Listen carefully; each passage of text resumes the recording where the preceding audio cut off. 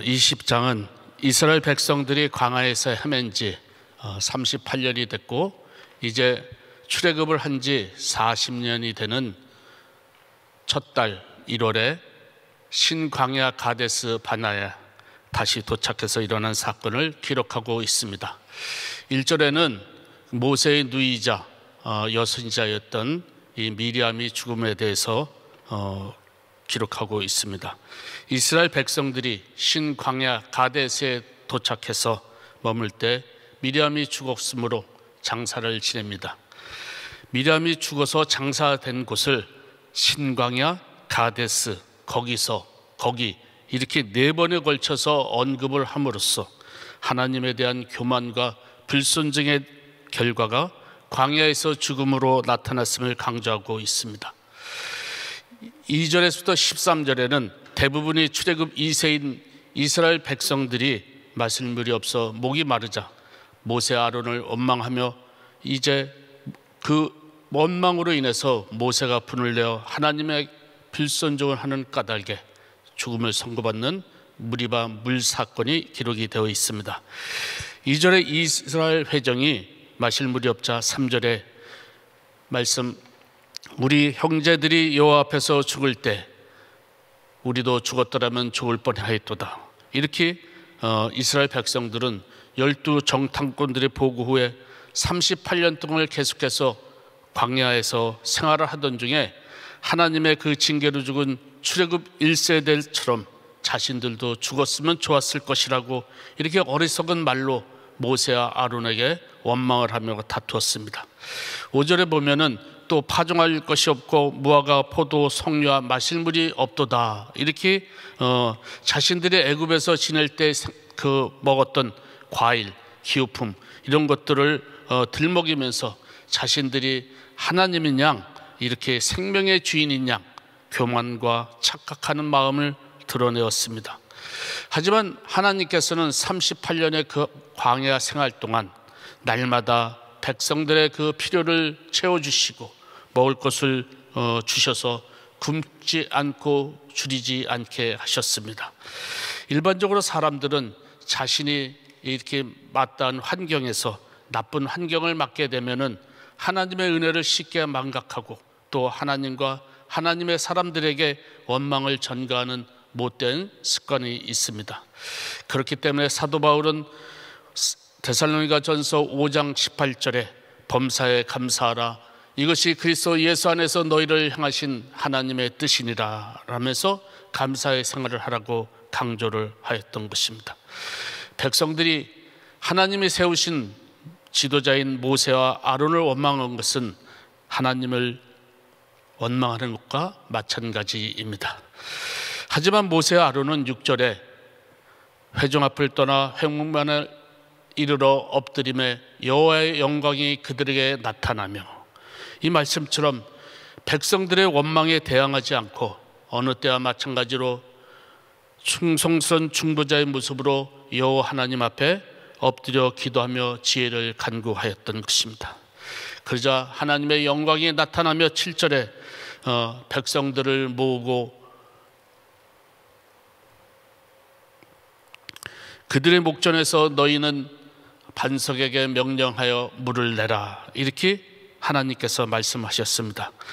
출애굽기 17장 6절 리비듬에서 하나님께서는 내가 호랍산에 있는 그 반석이 거기서 내 앞에 서리니 너는 그 반석을 치라 그곳에서 물이 나오리니 백성이 마시리라 이렇게 반석을 치라고 명령을 하셨 반석을 치라고 이렇게 말씀을 하셨던 하나님께서 이번에는 반석에게 명령을 하라고 하셨던 것입니다.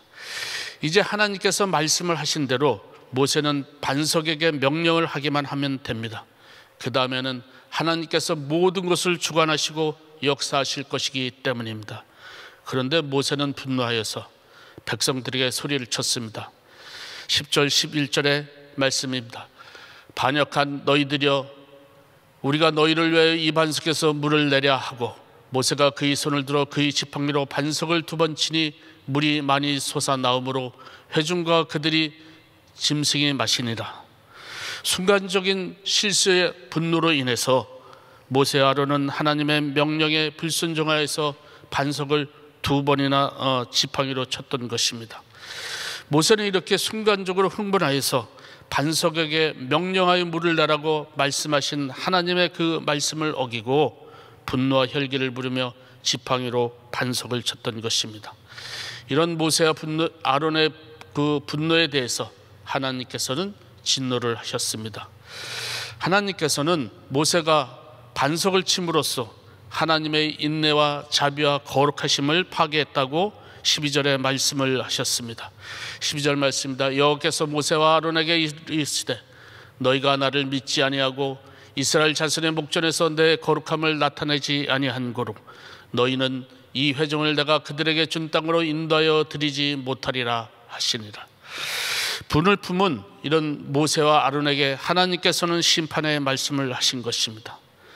하나님의 말씀은 1.1핵도 가감할 수 없는 절대자의 말씀이기 때문에 절대적으로 우리는 순종을 해야 합니다.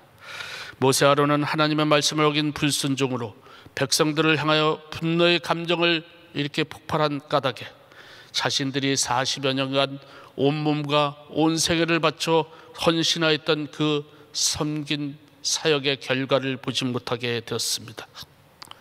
이스라엘 백성의 원망으로 인한 이 모세의 분노는 결국 하나님의 심판만 받게 된 것입니다. 14절부터 21절은 이스라엘 백성들이 에돔 지역을 통과해서 가나안 땅으로 가려고 했으나 에돔 왕이 이스라엘의 그 통과를 불허하는 내용을 기록하고 있습니다. 모세와 이스라엘 백성은 가나안을 향해 가는 길에 가데스에서 동북쪽으로 있는 그 지역을 통과하길 원했습니다. 에돔 족속이 에서의 그 자신임을 알고 있기 때문에 하나님의 한 형제 나라임을 밝혔습니다. 그리고 자신들이 하나님의 은혜로 애굽에서 출애굽하여서 이제 가데스에 있는데 에돔 땅을 지나갈 수 있도록 허락해 달라고 겸손하게 요청을 하였습니다. 밭이나 포도원을 해치지 않고 우물무도 마시지 않고 오직 왕의 큰 길로만 가겠다는 모세의 겸손한 요청이 있었음에도 에돔왕은 자신의 나라로 지나가지 못하도록 하였습니다. 꼭 지나가야 한다 하면은 자기가 직접 칼과 군사를 이끌고 나와서 대적을 할 것이라고 강한 반대를 하였습니다. 이래서 이스라엘 백성들은 어쩔 수 없이 에돔 땅을 돌아가기로 결정을 한 것입니다.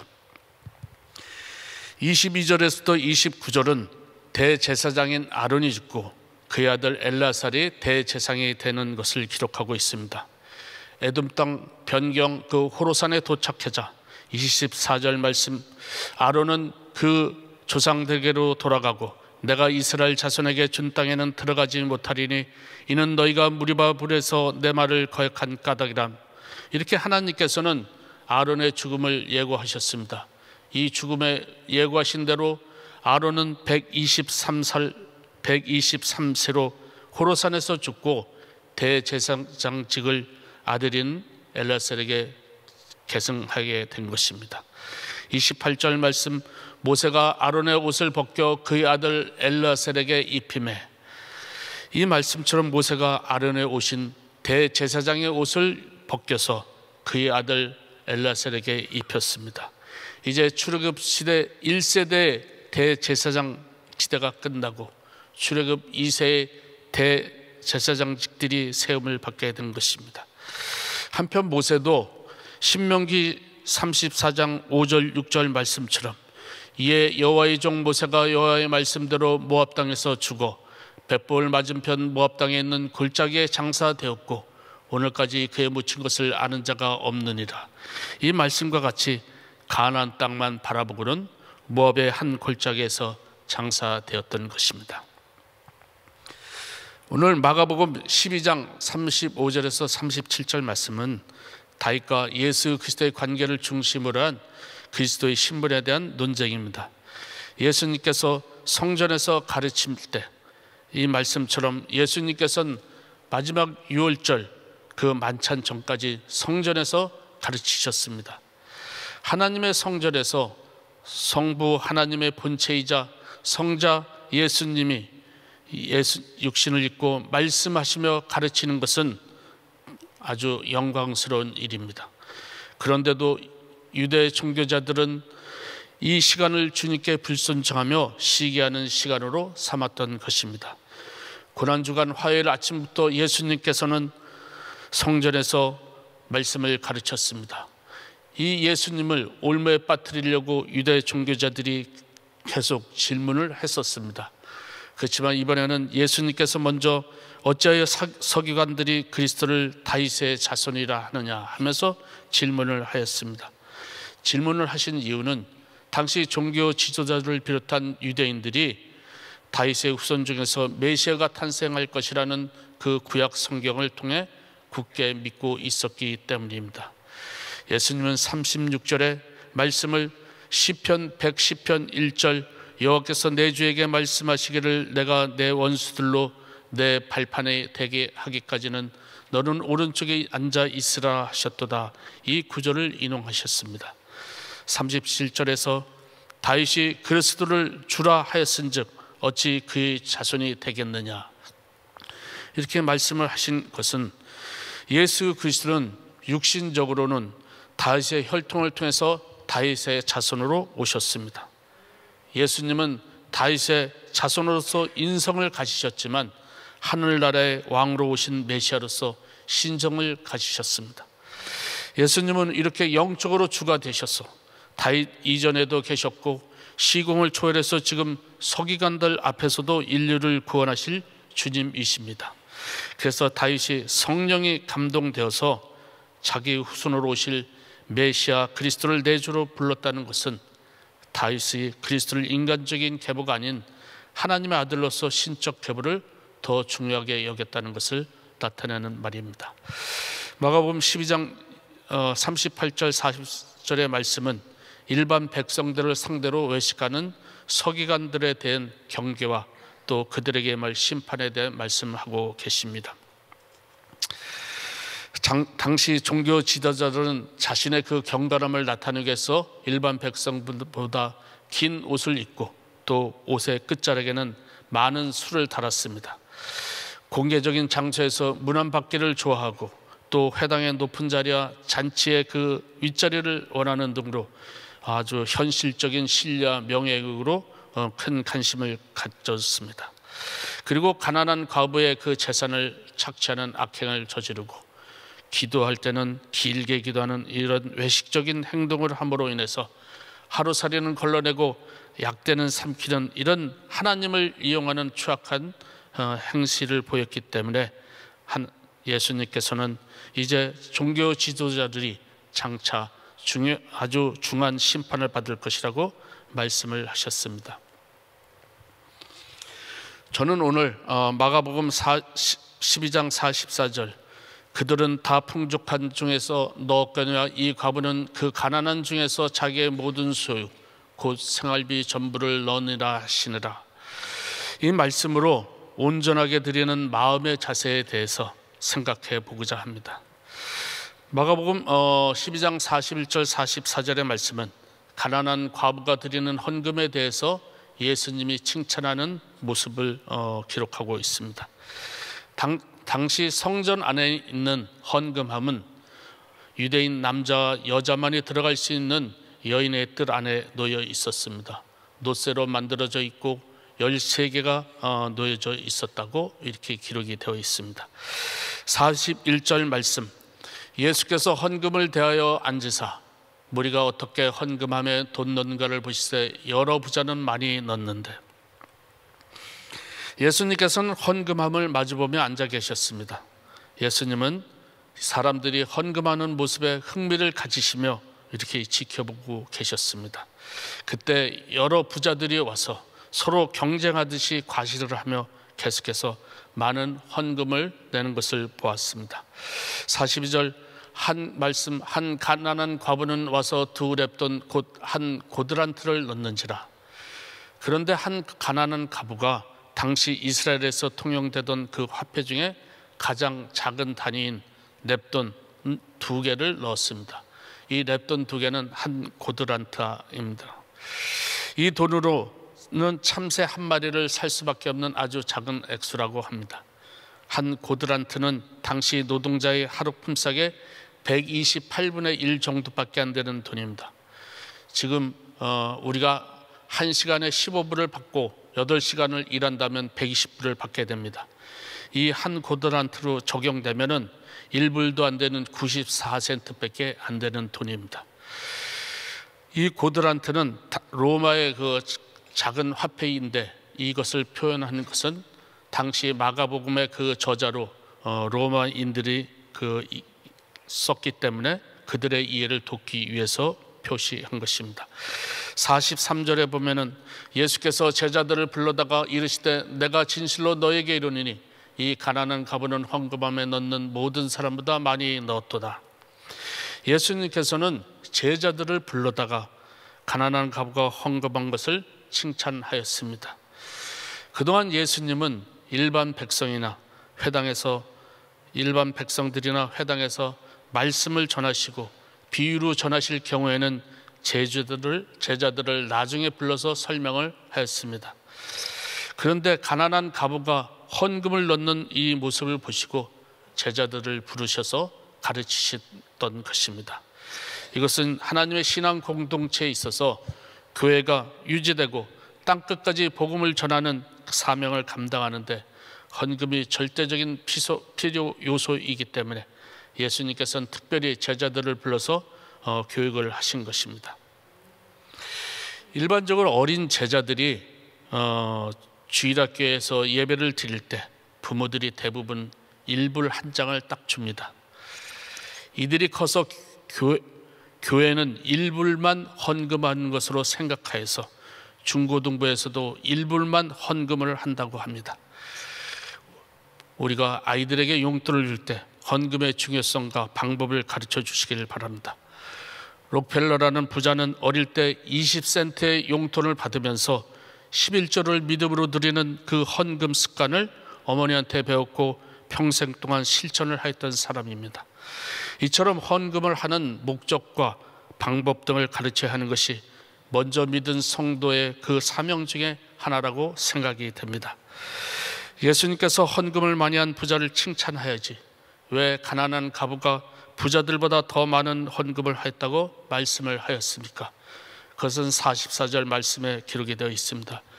그들은 부자들은 다 풍족한 중에서 넣었거냐 이 과부는 그 가난한 중에서 자기의 모든 소유 곧 생활비 전부를 넣으니라 하시니라. 이 말씀에서 알 수 있듯이 자신이 생활하게 되는 데 필요한 비용 전부를 과부는 헌금하였다고 합니다.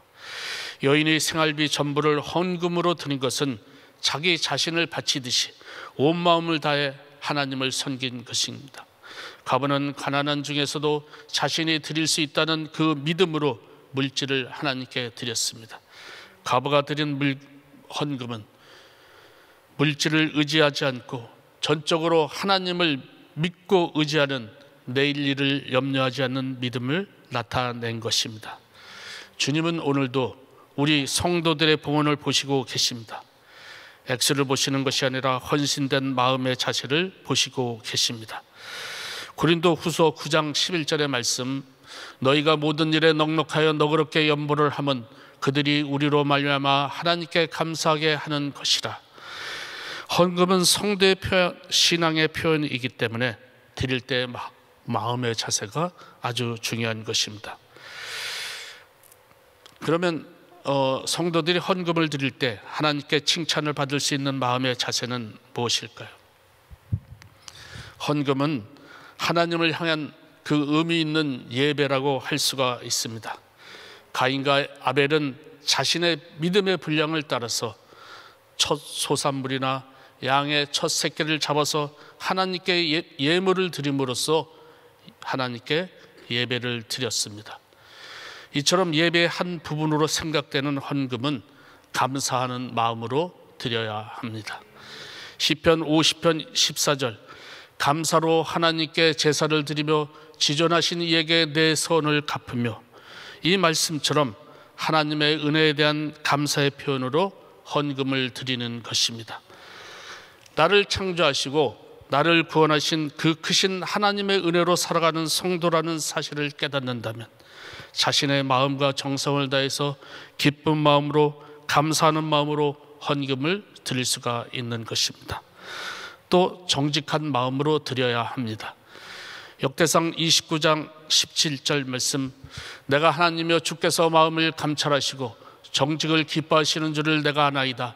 내가 정직한 마음으로 이 모든 것을 즐거이 드렸사오며 다윗은 성전이 지어질 재물을 하나님께 드릴 때 정직한 마음으로 즐겁게 드렸다고 고백을 하였습니다.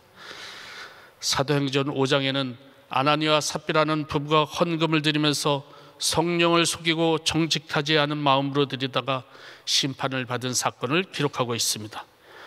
이들은 남들에게서 인정받으려 하고 정직하지 않은 마음으로 드리다가 죄에 대한 대가를 치렀던 것입니다. 하나님께 헌금을 드리는 것은 자신의 믿음을 드리는 것입니다. 또 헌금을 드리는 것은 자원하는 마음으로 드려야 합니다. 고린도 후서 8장 3절에서 4절 말씀 내가 증언하느니 그들의 힘들어 할 뿐 아니라 힘에 지나도록 자원하여 이 은혜와 성도 섬기는 일에 참여함에 대하여 우리에게 간절히 구하니 사도 바울은 마게도냐, 마게도냐 교회 성도들이 드리는 헌금에 대해서 이 말씀으로 칭찬을 하였습니다. 출애굽을 한 이스라엘 백성들은 하나님의 전인 성막을 지으려고 할 때 출애굽기 36장 3절에 아, 백성이 아침마다 자원하는 예물을 연하여 가져왔으므로 36장 7절 말씀 있는 재료가 모든 일을 하기에 넉넉하여 남음이 있었더라.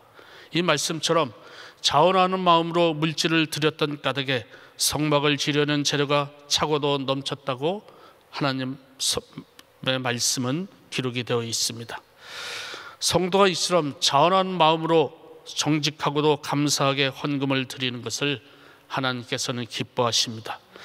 왜냐하면 헌금을 통해 하나님께서는 로마서 12장 1절의 말씀 그러므로 내가 하나님의 모든 자비하심으로 너희를 권하느니 너희 몸을 하나님의 기뻐하시는 거룩한 산 제물로 드리라. 이 말씀처럼 우리 마음과 우리 자신을 드리는 믿음을 원하시기 때문입니다. 그렇기 때문에 예수님께서는 과시하듯이 많은 헌금을 한 부자들보다 생활비 전부를 넣은 과부의 믿음을 특별하게 제자들을 불러서서 가르치셨던 것입니다. 하나님은 온 우주 만물을 창조하시고 통치하시는 분이십니다.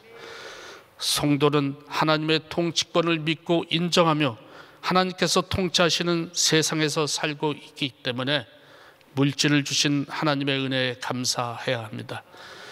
마태복음 6장 21절 말씀 내 보물이 있는 그곳에는 내 마음도 있느니라.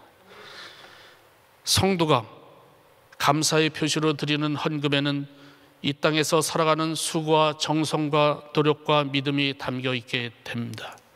따라서 헌금은 성도의 믿음의 표현이지만 사람마다 각자가 받은 그 은사의 분량이 다르기 때문에 주님이 주신 형편 안에서 최선을 다해 감사하는 마음으로 헌금을 해야 하는 것입니다. 신명기 16장 17절 말씀 각 사람이 내 하나님 여호께서 주신 복을 따라 그 힘대로 드릴지니라. 이 말씀처럼 성도들이 자원한 마음으로 정직하고도 감사하게 헌금을 드릴 때 하나님의 축복이 더욱 차고도 넘칠 것입니다. 저와 여러분은 하나님의 사랑과 은혜로 구원받은 성도입니다. 하나님께 선택받아 구원받은 성도로서 하나님 나라의 소유가 되었기 때문에 하나님 나라의 재정을 채워야 하는 사명이 있는 것입니다. 자신이 받은 능력과 은사를 발휘하여 하나님 나라의 복음을 전하는 경영을 위하여 믿음으로 헌금을 하시기 바랍니다. 저와 여러분이 오늘 본문의 과부처럼 하나님 나라의 진정한 믿음의 성도답게 전원 마음으로 정직하고도 즐겁게 감사하게 하나님 나라의 경영을 위해 헌금을 함으로써 자라했도다 착하고 충성된 종아 이런 칭찬을 받으시길 예수님의 이름으로 축원합니다. 기도하겠습니다. 아버지 하나님 오늘 말씀을 통해서 우리의 믿음이 하나님 앞에 드려지길 원합니다. 하나님께서 저의 삶을 주관하여 주신 것처럼 우리의 삶과 우리의 물질을 받아 흠양하여 주시옵소서. 예수님의 이름으로 감사하며 기도드리옵나이다. 아멘. 우리 말씀 생각하시면서 성자의 귀한 몸 1절 4절 찬양 드립니다.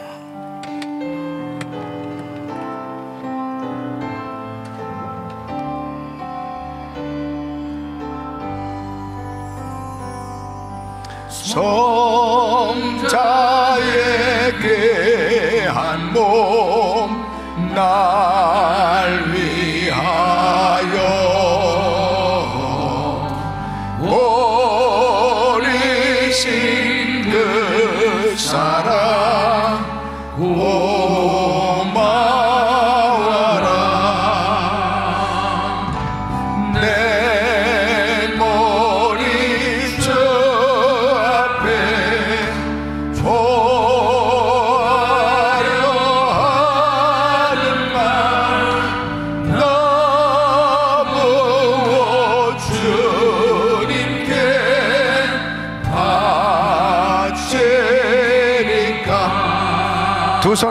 높이 드시고 만 가지 은혜를 받았으니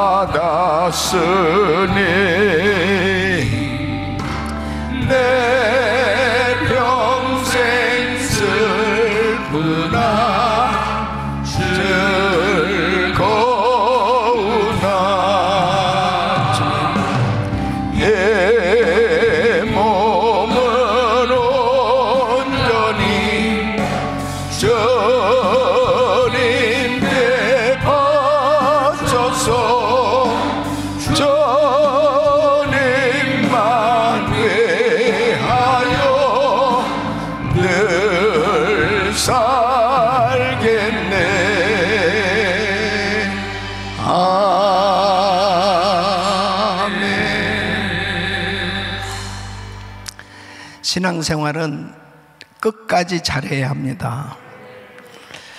아, 이스라엘 백성들이 이 가데스 바네아에서 아, 또다시 에, 그들은 에, 실패하는 모습을 보게 됩니다.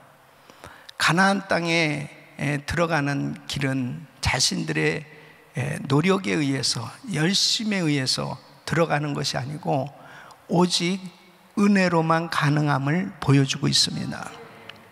왜 이렇게 에, 이스라엘 백성들이 40년 동안 에, 광야 생활하면서 이제 가나안 땅에 들어가기 직전에서 그들의 신앙의 상태를 에, 그대로 오늘 이 본문은 보여주고 있어요.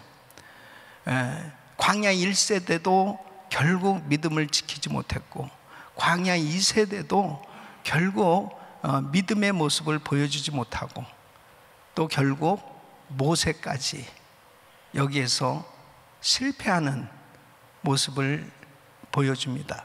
이것은 인간의 힘으로는 구원받을 수 없음을 말씀하고 있어요. 모든 인간은 죄인입니다. 오직 예수, 주님의 은혜로만 구원받을 수 있어요. 결국 이스라엘 백성들이 38년간 계속 방황하면서 괴로워하고 힘들어하고 불평하고 원망했던 문제 가운데 한 가지가 물 문제였습니다. 그런데 한 번도 우리 하나님께서는 이 물 때문에 이스라엘 백성들이 죽는 일은 예, 허락하시지 않았습니다. 다 주셨어요. 결국 반석을 쳐서 생수를 내게 해주셨는데 오늘 본 말씀에도 역시 반석에서 생수가 나왔습니다. 그 반석은 신령한 반석 대신 예수 그리스도를 의미하는 것입니다. 결국 예수 그리스도 안에 모든 것이 있는 거예요. 그런데 그 사실을 깨닫지 못하니까 결국 현실적인 문제 앞에 다 넘어지는 것을 볼 수 있습니다. 오늘도 우리가 붙들어야 될 것은 하나님의 말씀입니다. 예수 그리스도 주님을 온전히 의지하면 여전히 주님의 은혜는 우리에게 흘러 넘치게 될 것입니다. 그리고 구원받을 수 있는 유일한 길은 예수 그리스도 그 주님을 의지하고 주님의 은혜만이 우리가 구원받을 수 있고 하나님의 뜻대로 살아갈 수 있는 거예요. 내 힘으로는 안 됩니다. 아무리 노력해도 그것을 오늘 보여주고 있어요. 그렇게 하나님이 교훈을 해주시고 여러 가지로 어, 징계도 하시고 보여주시지만 인생들이 변화되는 게 하나도 없는 거예요. 그것은 하나님의 은혜로만 가능한 것이다. 오늘도 기도할 때 정말 주님의 은혜가 필요합니다. 역시 헌금 문제도 마찬가지입니다. 주님의 은혜를 받아야 주님이 귀하게 여겨지고 그 주님 앞에 자원하는 심령으로 감사함으로 드릴 수가 있지. 은혜 받지 못하면 나의 가진 것이 하나님 앞에 드려지는 것에 대한 이 불편함, 부담, 그래서 결단코 자원하지도 못할 뿐 아니라 이 물질, 이 헌금 부분에 넘어지고 시험 들게 되어지는 것을 보게 됩니다. 자원하는 심령은 하나님의 은혜가 임할 때 가능한 것입니다. 우리가 신앙생활 하면서 이 헌금 생활도 역시 훈련이에요. 끊임없는 훈련입니다. 여러분들이 1천번째 기도를 하고 정말 하나님 앞에 선교를 위해서 모든 11조를 아, 드리고 모든 아, 하나님 앞에 드려지는 것은 하나님의 은혜로만 가능한 것이다. 그래야 하나님이 기뻐 받으시는 것입니다. 물질이 있는 곳에 내 마음이 있다고 그랬습니다. 하나님께 끊임없이 정말 드려질 수 있는 삶, 하나님의 은혜가 있을 때 가능한 것입니다. 그럴 때 주님과의 교통이 이루어질 수 있는 거예요. 두 손을 가슴에 모으시고 몸이 아픈 분들 아픈 곳에 손 얹으십시오. 거룩하신 아버지 하나님, 누구나 다 신앙생활만큼은 성공하길 원하며 정말 하나님 앞에 나의 귀한 것을 드리며 주님과 교제하기를 원하지만 하나님의 은혜가 아니면 이 한 가지도 할 수 없음을 고백합니다. 모세조차도 하나님의 은혜로 이 광야에서 사역을 할 수 있었던 것이지 하나님의 은혜가 아니면 모세도 이렇게 넘어지는 것을 보게 됩니다. 어느 누구도 하나님 앞에 장담할 수 없습니다. 오직 하나님의 은혜만 구하기를 원합니다. 하나님의 은혜로만 살기를 원합니다. 하나님의 은혜로만 충만하기를 원합니다. 아버지 하나님, 우리 공로가 아무것도 없으면 고백하며 오직 하나님 은혜로 헌금도 드릴 수 있는 거고 하나님의 은혜로 헌신할 수도 있는 거 하나님의 은혜로 선교할 수도 있는 거 모든 것이 하나님의 은혜임을 고백합니다. 주님 나 같은 죄인을 살리시기 위해서 십자가에 못 박혀 죽으시고 그 귀하신 살이 찢겨지고 피를 흘려 주신 그 주님의 은혜를 늘 기억하며 살게 하여 주시옵소서 어떤 어려운 환경 속에도 낙심할 것이 아니고 내가 하는 것이 아니고 하나님의 은혜로 그 주님의 은혜로는 모든 것이 가능하오니 하나님 은혜를 부어 주시옵소서. 우리 모두가 끝까지 승리하게 하여 주시옵소서. 주님 만나는 그날까지 승리하게 하여 주시옵소서.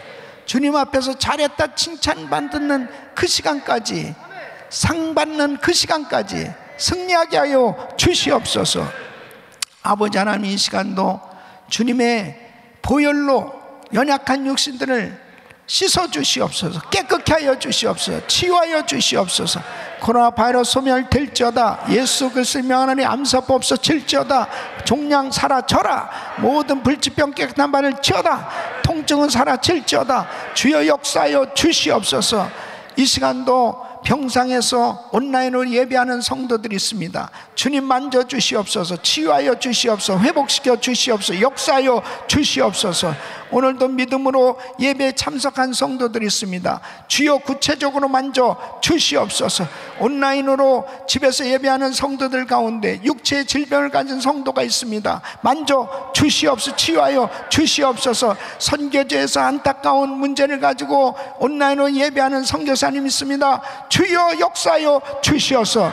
그 선교지에 안타까운 문제들이 해결되게 하여 주시옵소서. 치유하여 주시옵소서. 역사하여 주시옵소서. 하나님의 은혜로 모든 것이 해결되게 하여 주시옵소서. 축복하여 주시옵소서.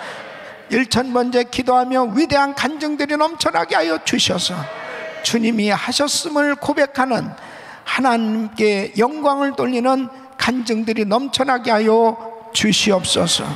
이제는 우리 주 예수 그리스도의 은혜와 우리 하나님 아버지의 그 무한하신 사랑과 성령님의 감동감하게 동 충만하신 은총이 가나안 땅에 들어가는 방법은 자신의 열심과 노력으로 되는 것이 아니고 오직 하나님의 은혜였음을 알며 반석되신 예수 그 예수 그리스도 안에 진정한 생수의 은혜가 있음을 알고 주님만 오직 의지하고 오직 주님의 은혜로만 살기로 작정하는 모든 성도들 머리 이제로부터 영원토록 함께 있을지어다. 아멘. 아멘.